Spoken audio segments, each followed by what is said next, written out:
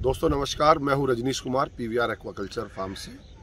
आज इस वीडियो के माध्यम से मैं आपको आज एक बहुत ही इंपॉर्टेंट टॉपिक शेयर करने जा रहा हूँ। इस वीडियो को एंड तक आप ज़रूर देखें, जिसका टॉपिक का नाम है फ़ीड मैनेजमेंट हमारे एक्वाकल्चर में सबसे इम्पोर्टेंट रोल फ़ीड का है। इस वीडियो में मैं आपको आज फ़ीड के बारे में दस बातें बताने जा रहा हूँ कि आप अपना फ़ीड मैनेजमेंट कैसे परफेक्ट करें, जिसमें कोई भी लूप होल ना रहे। मेरे, मैंने कमेंट देखता रहता हूँ, मैं काफ़ी लोग बोलते हैं कि आप अंग्रेज़ी के वर्ड ज़्यादा यूज़ करते हैं। दोस्तों, जो अंग्रेज़ी का वर्ड है तो वो अमोनिया है तो अमोनिया ही रहेगा वो। नाइट्राइट है तो वो नाइट्राइट ही रहेगा। तो मैं कोई बहुत ज़्यादा अंग्रेज़ी के वर्ड यूज़ नहीं करता, लेकिन जो एक्वा कल्चर के वर्ड्स हैं, वो तो ऐसे ही यूज़ करने पड़ेंगे। बट मैं कोशिश करूँगा कि मैं मैक्सिमम हिंदी के वर्ड्स ही यूज़ करूँ। तो दोस्तों, इस वीडियो में हम बात करते हैं टॉप टेन बातें जो फ़ीड मैनेजमेंट से रिलेटेड है। जैसा आपको पता है कि हम एक्वा कल्चर में हमारा पूरा बिज़नेस मॉडल, आपका ऑपरेशनल कॉस्ट सेंट्रिक है। ऑपरेशनल कॉस्ट बोलते हैं जो मेरी वर्किंग पैसे चाहिए मेरे को। आपकी मछली तभी ग्रो करती है जब वो फ़ीड खाती है। तकरीबन आपके 70 परसेंट कॉस्ट, अगर आपकी मछली की कोई भी कॉस्ट ऑफ़ प्रोडक्शन आ रही है तो 70 प्रतिशत उसकी कॉस्ट उसके फ़ीड के कारण आती है। तो अब आप इसी कैलकुलेशन से समझ सकते हैं कि फ़ीड कितना इम्पोर्टेंट पैरामीटर है आपके एक्वाकल्चर में। आप कोई भी मछली ग्रो आउट कर रहे हैं, चाहे आप आईएमसी कर रहे हो, चाहे एक्जोटिक कार्प्स कर रहे हो, चाहे कैट फ़िश कर रहे हो, चाहे ब्रैकिश वाटर फ़िश कर रहे हो तो फ़ीड का ही मेन इंपॉर्टेंट रोल है।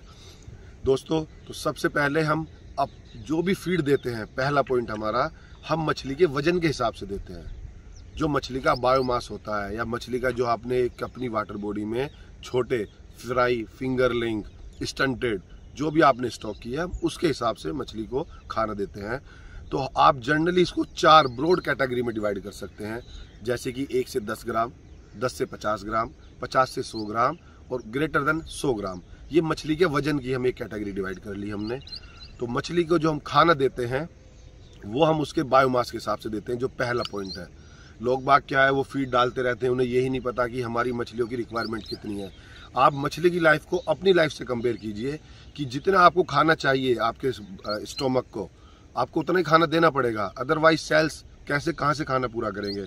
आपने मछलियाँ स्टॉक कर दी हैं दस हज़ार और आपको खाना देना था दो किलो और आप एक किलो दे रहे हैं। और बाद में हम बात करते हैं कि मछली ग्रो नहीं हुई, क्योंकि हमने उसे प्रॉपर फीडिंग ही नहीं कराई है।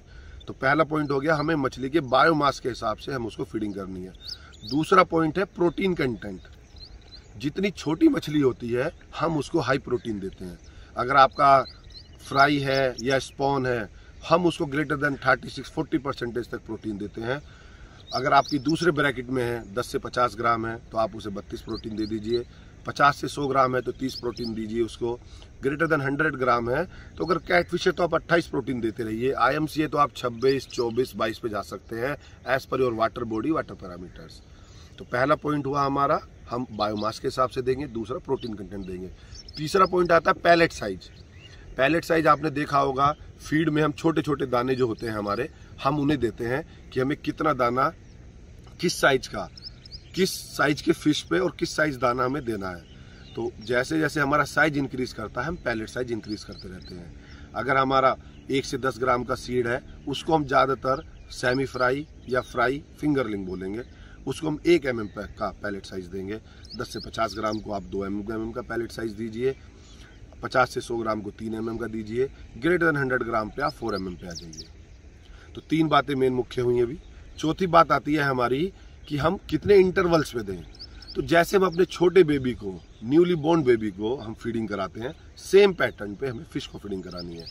जब वो आपका स्पोन फ्राई फिंगरलिंग तक है तो आप उसको मल्टीपाल टाइम्स दिन में कम से कम छः से सात बार आप उसको फीडिंग कराएँ। जैसे जैसे उसका साइज़ इंक्रीज करते रहे देन हम उसे चार बार कराएँ। जब वो 50 से 100 ग्राम हो हम उसे तीन ग्राम, तीन बार कराएँ। ग्रेटर देन 100 ग्राम पे आप उसको तीन बार भी करा सकते हैं, दो ग्राम भी करा सकते हैं। तो मैं आपको इसके उदाहरण से हम मछली को तीन बार भी और दो बार भी करा सकते हैं।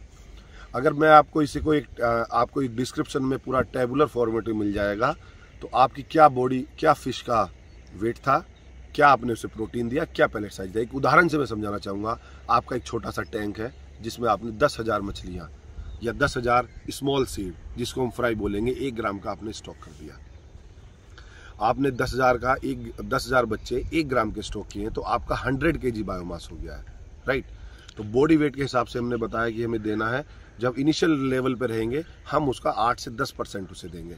तो अगर हम एग्ज़ाम्पल करते हैं, हम आठ परसेंट देंगे तो हंड्रेड के जी का आठ परसेंट आठ किलो खाना हो गया। आपको आठ किलो खाना पूरे दिन में देना है, लेकिन वो देना भी आठ बार है। आप ऐसा समझिए, आप हर एक एक एक, डेढ़ डेढ़ घंटे में एक एक किलो खाना पूरे वाटर बॉडी में, वाटर टैंक में ब्रॉडकास्ट करें। तो जब आपका अगर एक से दस ग्राम है तो आठ से दस परसेंट दीजिए। दस से आपका पचास ग्राम है तो छः से आठ परसेंट दीजिए। आपका पचास से सौ ग्राम है तो आप उसको चार से छः परसेंट दीजिए। ग्रेटर देन हंड्रेड पे आप उसको दो से साढ़े तीन परसेंटेज तक दे सकते हैं एज पर ये एक जनरल ब्रॉडकास्ट टेबल है कि आपकी फ़िश का वेट क्या है, हमें क्या फीडिंग परसेंटेज में उसे बॉडी वेट के देनी है, क्या प्रोटीन देना है उसको, क्या पैलेट साइज़ देना है, किस इंटरवल पे देना है। चौथा कंपोनेंट आता है कॉस्ट पांचवा कंपोनेंट आता है कॉस्टिंग का। जितना छोटा साइज़ उतना हाई प्रोटीन हाई वैल्यू जितना आपका पैलेट साइज़ बढ़ता रहेगा प्रोटीन वैल्यू घटती रहेगी प्राइस भी घटता रहेगा। प्राइस मैंने इसलिए आपको समझाने की कोशिश की है क्योंकि बहुत सारे फार्मर्स क्या गलती करते हैं, जैसे वो स्मॉल सीड स्टॉक करते हैं अपनी वाटर बॉडी में, वो जज्बाती होके छोटे एमएम का हाई कॉस्ट वैल्यू का फ़ीड वॉल्यूम में मंगा लेते हैं। तो आपको ये भी कैलकुलेट करना है कि आपकी फ़िश को कितने दिन बाद, कौन से फ़ीड की रिक्वायरमेंट है। आपने अगर एक एम का ही दस टन या पंद्रह टन दाना मंगा लिया और आपकी मछलियों को केवल वहाँ पे तीन टन की रिक्वायरमेंट थी तो सेवनटीन टन मछली खा तो लेगी, लेकिन आपकी बहुत वैल्यू इंक्रीज कर जाएगी। क्योंकि आपको मैंने बताया पहली, सबसे पहला सेंटेंस ये स्टार्ट किया सेवेंटी परसेंट आपकी कॉस्ट जो है वो फ़ीड की है। तो आपको फ़ीड ही परफेक्ट मैनेजमेंट करना है कि आपको किस टाइम कितने एम mm का, कितने प्रोटीन का खाना चाहिए। तो दोस्तों, अभी तक हमने बात की पाँच बातों, पाँच लाइन आइटम्स पे। सबसे पहले कि हम बॉडी वेट के हिसाब से कितना खाना देंगे। दूसरी बात की हमने क्या प्रोटीन वैल्यू देंगे। तीसरी बात की हमने क्या पैलेट साइज़ रखेंगे, चौथी बात की कितने इंटरवल पे देंगे, और पांचवी बात की क्या उसकी कॉस्टिंग है। और ये कॉस्टिंग का मेन इंपॉर्टेंट फैक्टर यही है कि जिससे आप अपना परफेक्ट मैनेजमेंट कर सकें। फ़ीड को आपको पूरे वाटर बॉडी में अच्छे परफेक्ट मैनेजमेंट के लिए ब्रॉडकास्ट करके दें। आप अगर आपने छोटा फिंगर लिंक स्टॉक किया है तो इनिशियली आप सात आठ लोकेशन पे आपने वाटर बॉडी में ब्रॉडकास्ट कर दे। ब्रॉडकास्ट का मतलब सिंपली चार पाँच जगह आपको फीडिंग करानी है। एक जगह फीडिंग नहीं करानी है। उससे क्या होता है कि आपका साइज़ वेरिएशन आता है और जो आपको हार्वेस्ट पे पता चलता है। फीडिंग भी हम इसलिए कैलकुलेट करके देनी चाहिए क्योंकि मेन कंपोनेंट फ़ीड ही है और जितना प्रोटीन वैल्यू है, आप ये भी समझ लीजिए, उतना ही अमोनिया भी है। Protein value directly proportional to ammonia भी होता है। यही कारण है कि जैसे जैसे फ़िश की ग्रोथ होती है, हम प्रोटीन वैल्यू कम करते रहते हैं। क्योंकि जब फ़िश की ग्रोथ होती है तो वो ज़्यादा खाती है एक्सक्रीटा या पोटी ज़्यादा करती है। और वही हमारा अमोनिया या नाइट्रोजन होता है वाटर बॉडी में। तो जैसे जैसे उसका साइज़ इंक्रीज होगा, हम प्रोटीन वैल्यू कम करेंगे, जिससे हम अमोनिया को कंट्रोल कर सकें। हम जब फीडिंग कराएँगे तो हम चार पाँच मल्टीपल लोकेशन पे अपने अक्रॉस द पॉन्ड कराएँगे। दूसरा मेन बात हम क्या करेंगे अपनी फीडिंग में? हम बैग फीडिंग भी एक ऑप्शन ऑप्ट करेंगे। अगर आप आईएमसी कर रहे हैं कैटफिश तो अब अटैकर होती हैं, वो सर, वो एकदम आ जाती है खाने। आईएमसी जो रहती है या कार्ब्स होती हैं, हम उन्हें अगर उसी बैग फीडिंग कराएँ, अगर हमें टोटल 100 के खाना देना है अपनी पूरी फिशेस को तो आपने 80 परसेंट कॉमर्शियल फ़ीड दे दिया 20 परसेंट बीस किलो बैग फीडिंग कराएँ। एक एकड़ में तीन से चार बैग आप लगाएँ। इससे क्या बेनिफिट रहेगा? वो जो बैग फीडिंग वाला फ़ीड है वो आपका स्नैक्स की तरह काम करेगा मेरी मछली के लिए। और अगर मार्जिनली लीक भी हो जाएगा तो वो आपके फर्मेंटेशन में काम आएगा। फर्मेंटेशन की मैं एक सेपरेट वीडियो बनाऊँगा अपने फार्मर्स के लिए। तो आप यूट्यूब चैनल पे बने रहेंगे मेरे साथ। दोस्तों तो दोस्तों, मैं इसी सबमिशन के साथ इसे कंपाइल करता हूँ पूरी वीडियो को। मछली को खाना उसके वज़न के हिसाब से देना है। मछली को खाना प्रोटीन वैल्यू के हिसाब से देना है। मछली को खाना पैलेट साइज़ के हिसाब से देना है, मछली को खाना इंटरवल्स पे देना है।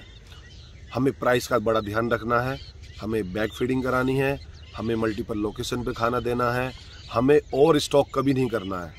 हमें हार्डली 15 टू 20 डेज़ का स्टॉक रहना चाहिए मेरे पास। पैरेलली जो भी आप फ़ीड कैलकुलेशन करेंगे, अपनी वो पैलेट साइज़ के हिसाब से करें, क्योंकि कॉस्ट बहुत बड़ी इन्वॉल्व है। और पूरा जो निष्कर्ष है इस वीडियो का कि आपकी 70 परसेंट फ़ीड कॉस्ट है। तो ये तो दोस्तों, ये दस बातें मैंने आपको फ़ीड के बारे में बताई हैं। आप इसे फॉलो कीजिए, मैं आपको गारंटी देता हूँ, आप अच्छा फ़ीड मैनेजमेंट करेंगे तो आपका एक्वाकल्चर बहुत ही परफेक्ट होगा, बहुत ही शानदार, उम्दा होगा। तो दोस्तों, बने रहिए P V R aqua YouTube channel पर और सब्सक्राइब कीजिए, ज़्यादा से ज़्यादा शेयर कीजिए, जिससे कि हमारे न्यू बिगनर्स और हमारे फार्मर्स को फ़ीड के बारे में इंफॉर्मेशन मिले। फ़ीड की कोई भी आपको कोई भी क्वेरी है कि किस कंपनी का अच्छा है, कौन सी फ़िश के लिए कौन सा फ़ीड अच्छा करना है, आप कमेंट बॉक्स में लिखिए, मैं आपको हंड्रेड परसेंट रिवर्ट करूँगा। धन्यवाद।